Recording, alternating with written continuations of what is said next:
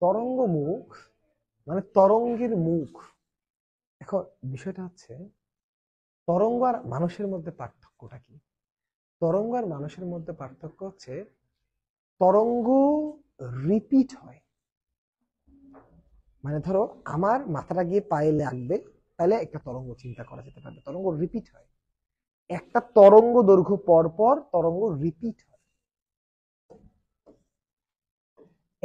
একটা তরঙ্গ দৈর্ঘ্য পর পর তরঙ্গের রিপিট হয়। মানে আমি একটু বোঝাই তোমাকে। এই পয়েন্টটা যদি এ হয়, এই পয়েন্টটাও এর ইকুইভ্যালেন্ট এই পয়েন্টটাও এর ইকুইভ্যালেন্ট একই জিনিস। কারণ তারা একটা তরঙ্গ দৈর্ঘ্য পর পর রিপিট হচ্ছে হ্যাঁ কি না? তাহলে আমরা তো এরকম করে বলতে পারি, যেমন ধরো যে বলে না যে পুনর্জন্ম লাভ করেছে। তো এই এ বিন্দুটা এই এ বিন্দুতে আবার পুনর্জন্ম লাভ করেছে। আবার এই বিন্দুতে পুনর্জন্ম লাভ করেছে।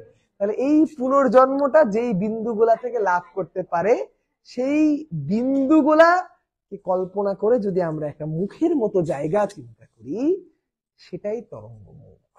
মানে যেই বিন্দুতে, যেই জায়গাতে, মুখ মানে কি? আ জায়গা একটা তল, একটা ক্ষেত্রফল। তাহলে যেই জায়গাতে এই যে মানে কি বলব, পুনর্জন্ম প্রাপ্ত প্রাপ্ত বিন্দুগুলো থাকবে নট লাইকলি বিন্দুটা যে এটাই হতে হবে নট নেসেসারি এই বিন্দুটা কি আবার এখানে পুনর্জন্ম লাভ করেছে না? আবার এখানে পুনর্জন্ম লাভ করেছে না? এইগুলাও তরঙ্গ। মুখ মানে আমি বিষয়টা একটু বোঝাই। আমাদের মুখ মানে একটা জায়গা তো তরঙ্গ মুখ একটা জায়গা। তো তরঙ্গ মুখ একটা তল।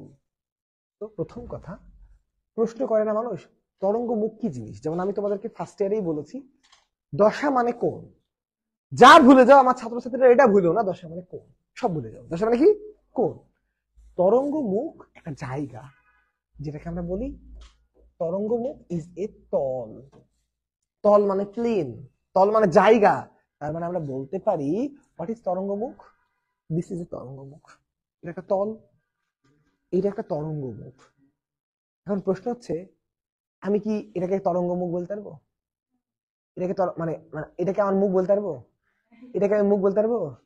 কাকে মুখ বলতে পারব? যেখানে দাঁত থাকে। তরঙ্গেরও যাকে তাকে মুখ বলা যাবে না। তরঙ্গের সেই তলটাকে আমরা তরঙ্গ মুখ বলতে পারব। যেই তলের উপর যেই কণাগুলা আছে, সেই কণাগুলার দশা সেম। অর্থাৎ কণাগুলা একই কোণে আছে। যেমন মানুষের মুখ কোনটা? যেখানে দাঁত আছে। সবগুলা দাঁতই তো সাদা রঙের চিকচিক করে। কারও দাঁত হয় নাকি কালো রঙের? হয় না কিন্তু। তাহলে মানুষের মুখ হওয়ার শর্ত হচ্ছে সাদা সাদা রঙের দাঁত থাকতে হবে। তরঙ্গের মুখ হওয়ার শর্ত হচ্ছে একই দশার বিন্দু থাকতে হবে। কথা কি বুঝতে পেরেছ? তাহলে তরঙ্গ মুখ is a very simple concept মানুষ কেন ভয় পায় আমি বুঝি না? তরঙ্গ মুখ হচ্ছে একটা তল। আর একটা তল, এই তলকে ম্যাথমেটিক্যাল ভাষায় কি বলে জানো? তল টাইপের যে কোনো জিনিস যে কোনো জায়গা যে কোনো ক্ষেত্রফল যে কোনো দিক ডিরেকশন এটাকে ম্যাথের ভাষায় কি বলে? ম্যাথের ভাষায় এটাকে বলে সঞ্চার পথ সরল রেখার সঞ্চার পথের সমীকরণ, বৃত্তের সঞ্চার পথের সমীকরণ, কণিকের সঞ্চার পথের সমীকরণ। সঞ্চার পথের সমীকরণ মানে ওই সমীকরণটা, ওই সরল রেখাটা কোথায় কোথায় যেতে পারে? বৃত্তটা কেমন কেমন করে আঁকা যেতে পারে? এই পুরো জায়গাটাকে ক্লাসিফাই করে। কথা কি ওকে? তাহলে বিষয়টা কি দাঁড়াইলো? বিষয়টা দাঁড়াইলো যে তরঙ্গ মানে এমন একটা প্লেস এমন একটা জায়গা এমন একটা সঞ্চার পথ ভালো করে বলো, আমি কতগুলো কি বললাম, খেয়াল করো। প্রত্যেকটা লাইন কিন্তু বহুপদী কোশ্চেন আসতে পারে। এটা একটা তল, এটা একটা স্থান, এটা একটা জায়গা। আবার এই সবগুলোকে ম্যাথমেটিক্স এর ভাষায় ফিজিক্স না থাকলে যার অস্তিত্বে থাকতো না। ঠিক আছে? বলা হয় সঞ্চার পথ কি বলা হয়? সঞ্চার পথ তাহলে তরঙ্গমুখ, একটা তল, একটা জায়গা, একটা স্থান, একটা সঞ্চার পথ বা একটা বাসা। তোমাদের বাসার মতো বাসা। এমন একটা বাসা, যেই বাসায় যেই মানুষগুলা থাকবে, তার একই মতাদর্শের হতে হবে। মানে একই দশার হতে হবে। তাহলে এমন একটা জায়গা, যেখানে সব কণার দশা একই।